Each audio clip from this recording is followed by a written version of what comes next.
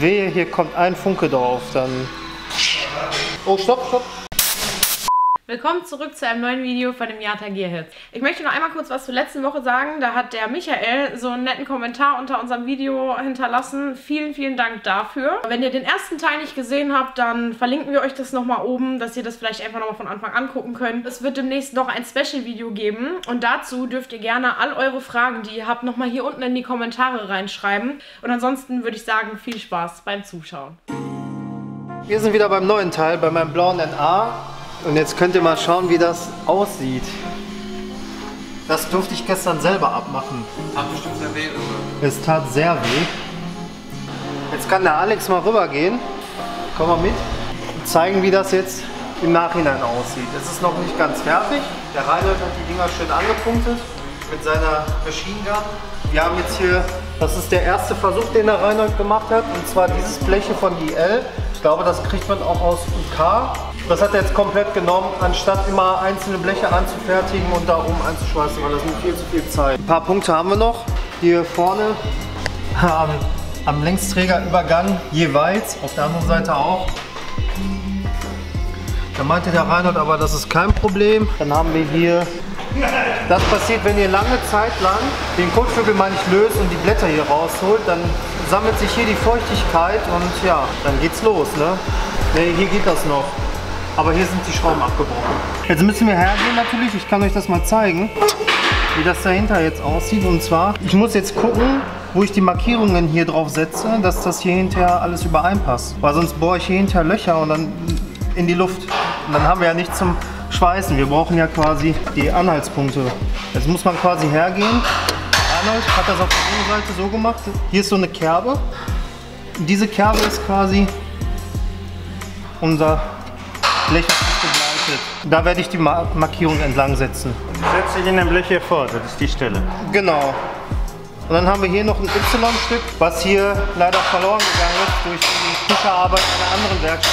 Aber der Rhein und meinte, das reicht trotzdem aus. Ne? Ja.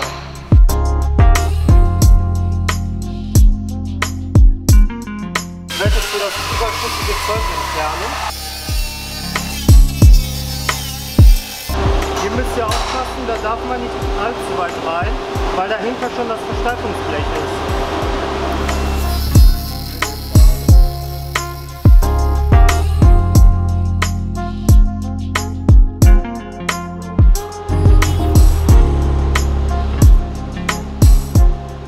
Markierten Punkte müssen wir jetzt. Die muss man halt raussuchen. Die sieht man auch manchmal auf der anderen Seite. Ich schlafe die mal so lange an und dann seht ihr irgendwann einen Punkt, der sich dann so daraus entwickelt. Das ist der Schweißpunkt. Dann sieht man so einen Rand.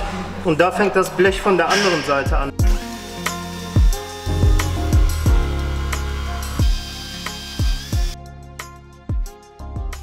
Ich weiß nicht, ob ich da so reingebracht bin. Da muss man aber auch schmerzfrei sein, ne? Ja. Unter Absprache mit Reinhold. Das machen wir auch neu. Die äh, Verstärkungskante hier. Jetzt gehe ich einfach hierher, ziehe diese Naht durch, dann kann ich das so abreißen.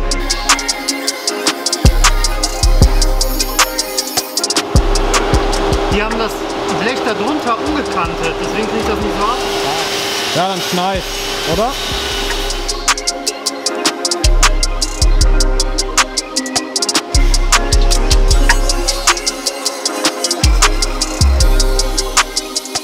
Wenn du jetzt ein ordentliches Auto hättest, ne, wolltest du das nicht machen.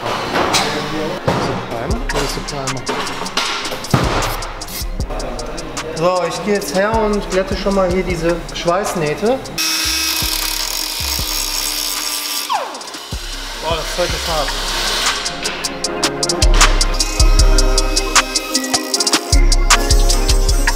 Dann hoffe ich, dass der Reinhold morgen dann den Radlauf fertig macht. Die Seite sieht ja okay aus, die andere Seite muss er auch noch die Innenseite machen. Also hier, das ist noch okay, aber auf der anderen Seite ist das auch durch. Ja, das ist ja jetzt ein Rohling für den NA-Radlauf. Das wird jetzt der rechte Radlauf. Den linken hast du ja gerade da hinten gesehen. Den muss ich jetzt halt noch bearbeiten. Das ist jetzt ein fast fertiger NB-Radlauf für ihn. Ja, so sehen die dann halt aus, wenn sie fertig sind. Wenn ich sie jetzt verkaufe, dann wird hier noch ein bisschen nachgerichtet, damit das schön glatt ist. Aber wenn ich die einbaue, ist das nicht so wichtig, weil da hämmer ich ja sowieso noch drauf rum. Ja, und hier kommen halt Schwellerbleche. Dann mache ich jetzt erstmal das Wichtigste an den Schwellerblechen. Das werden rechte Schwellerbleche für eine NA. Das wird ein Außenblech.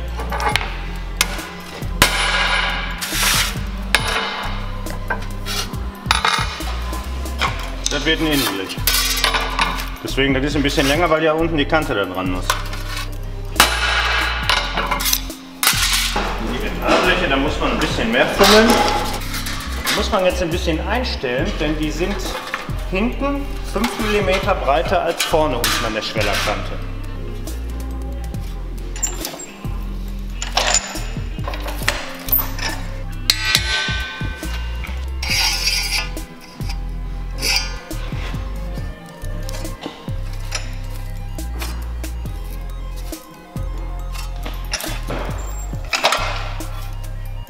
Erster Schritt. Ist und man sieht so schon, hier ist 5 mm schmaler als hier. Ne? Siehst du, dass das ein bisschen breiter ist? Wenn man da entlang guckt, kann man das sehen. Deswegen muss ich das immer so ein bisschen schlechter rein tun.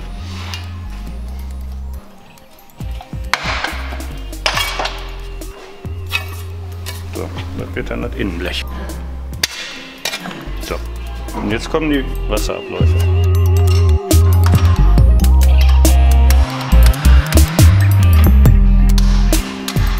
So ist jetzt fertig gebördert und jetzt muss noch ein bisschen beschliffen werden.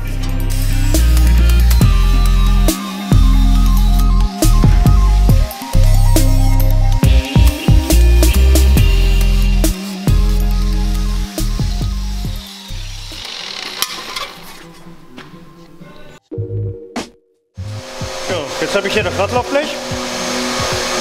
Das werden wir jetzt erstmal anpassen, mit Blechschrauben befestigen. Dann kommt es nochmal runter, damit alles grundiert. Und dann können wir schon festschweißen.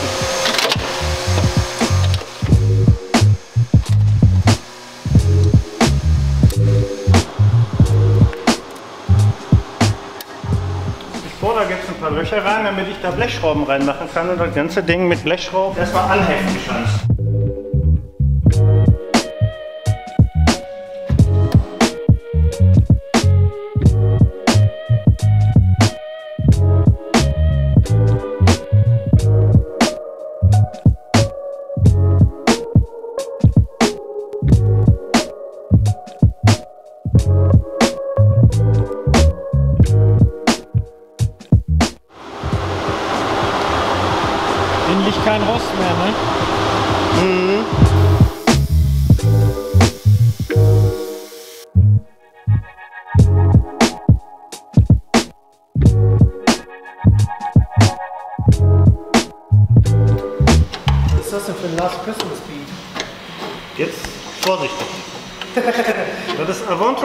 Free von Free. Ich weiß. Freddie Mercury. Also vorsichtig.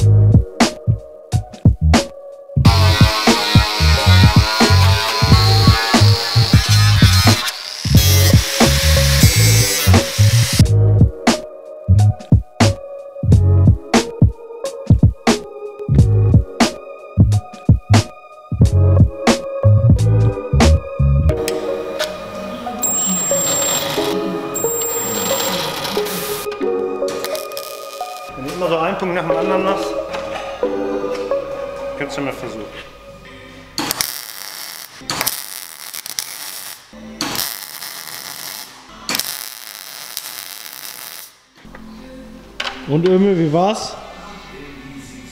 Erstes Cool. Mal schweißen. Macht Spaß. Dieser Moment, wenn ein Freund sagt, er kann schweißen. Kennst du diesen Meme? Ja. Das kann man ja. Ich glaube, der hat das hier, äh, den Fluss hat er zu stark eingestellt. Aber das Geile. Ja, ja, ja, ja, ja. Warte, Wieder- pass auf, jetzt leuchte mal hier rein. Das wird ja eh dann wieder so glatt gemacht.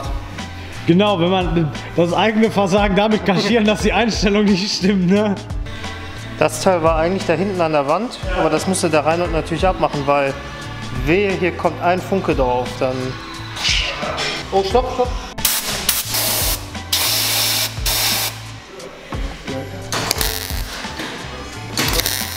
Stopp.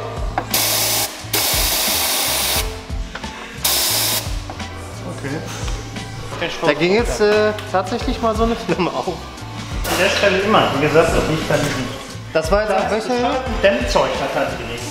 War das jetzt hier Reinhold oder war es auf der Höhe? Das war von unten bis oben. Wo, wo, das letzte, wo gebrannt hat, war oben, war hier.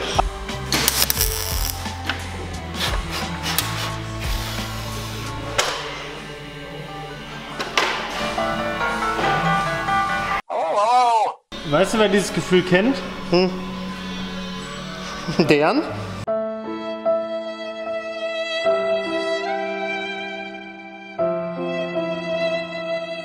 Hallo Jan.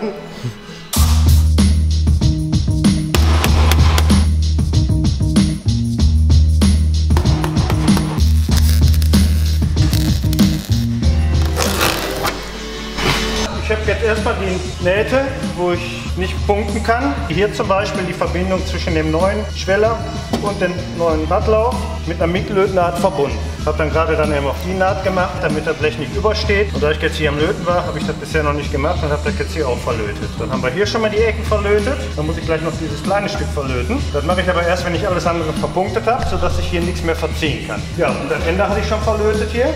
Hier, das ist natürlich auch so eine Verbindung. Und den Rest, der jetzt überbleibt, den machen wir mit dem Stoßpunkt ab.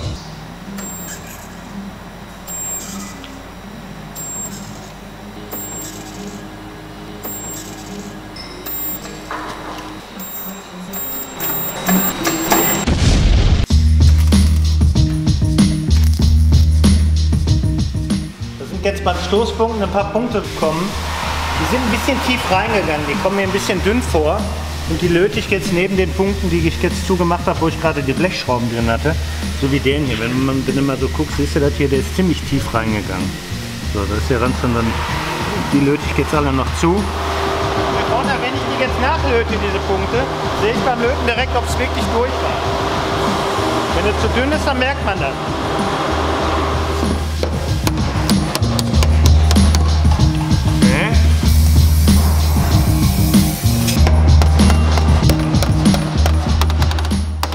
Der ist jetzt schon weiter rausgekommen. Das war gut, das ist besser. Der zweite wird immer besser. Ist egal, was man macht. Ne? Das zweite Mal wird immer besser.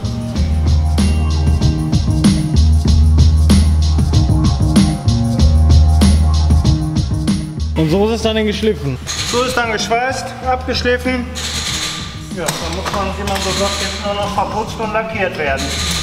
Kante schön gebürdet. Sicherheitshalber mache ich immer noch ein paar Schweißpunkte hier hin, was nicht unbedingt sein müsste, aber sicher ist sicher. Und so. Ich habe jetzt noch ein bisschen reingehauen.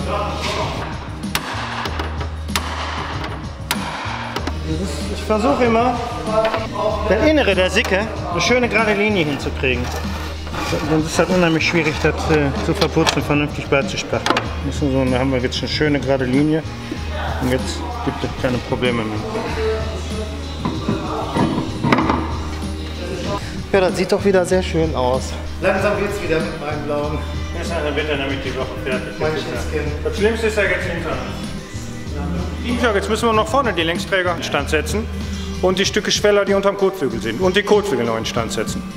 Du hast Arbeit Aber dann wir Ne? die Woche noch hin. Ich habe Arbeit Dann mitgebracht. wird die Woche fertig. Gut, morgen geht's weiter. Morgen fangen wir vorne an dem Schweller an. Sehr gut. Okay.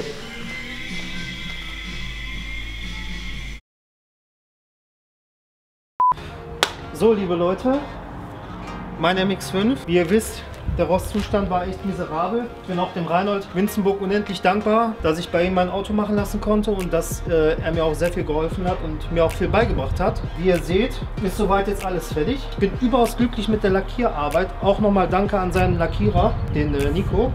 Ja, wie ihr wisst, waren die Schweller durch. Im Prinzip war hier nur noch die Versiegelung und die weiteren Vorkehrungen waren dann noch zu machen zum Lackieren. Ich hatte halt die Möglichkeit, ob ich den jetzt nur beilackieren lasse oder voll lackieren lasse. Ich habe mich dann dafür entschieden, den voll lackieren zu lassen. Eben weil ich auch noch so ein paar Macken hatte. Die Haube war auch ein bisschen verbeult und Dellen. Wie ihr wisst, ist das ja auch relativ schwer, den passgenauen Farbton zu treffen für die ganzen Übergänge.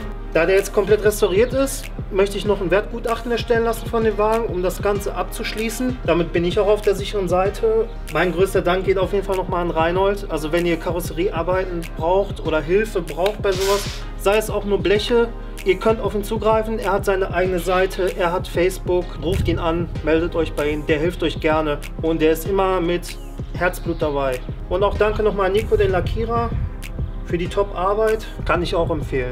Ja, ich bin überaus glücklich. Also die nächsten Projekte, die kommen, werden jetzt im Prinzip nur noch Motor sein. Ich habe ja noch den 1.6er Motor drin vom NB, den ich auf NA-Technik umgebaut habe. Und ich habe ja noch den VVT-Motor. Das wird ein Langzeitprojekt. Mal gucken, was uns da alles noch erwartet. Und ihr werdet uns natürlich wieder begleiten. Bis dahin, eure G-Hits.